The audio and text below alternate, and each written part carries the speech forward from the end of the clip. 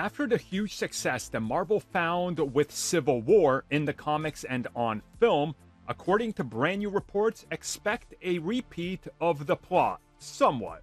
Just like in the comics, how they did Civil War 2, according to some reports, we're gonna get that in the films as well. It's just not gonna be an actual film. So, recent reports online have suggested that before we get to Avengers Secret Wars, we gotta put the Avengers at a major disadvantage again and have almost about half a team assembled.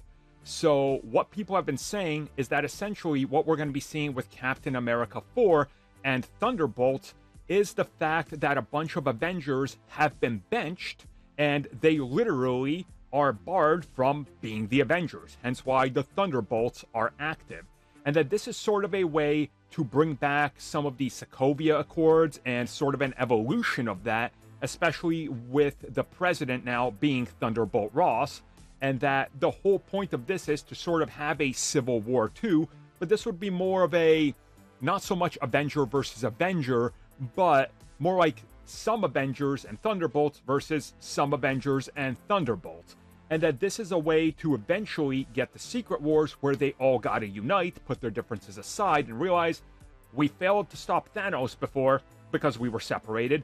We can't fail to stop Kang again because he's already ruined everything. So let's work together. And in essence, if you really look at what they're doing, this kind of tracks with everything we're seeing, right? Now, we're not, again, I just want to stress this. Nobody's saying we're getting Captain America 5 Civil War 2 we're just going to get elements of Civil War 2 or Civil War that come back into the fold to sort of get the story to where it needs to be. And you can see how this does make sense, especially with a growing roster of characters and them needing the Avengers to be, again, apart, but also different factions all over that are going to unite for Secret Wars, which also does track with all the talk about delays to get more projects out there to be able to establish what's going on. So, honestly, I'm cool with this. It would make sense. There's nothing wrong with this. I think it would work.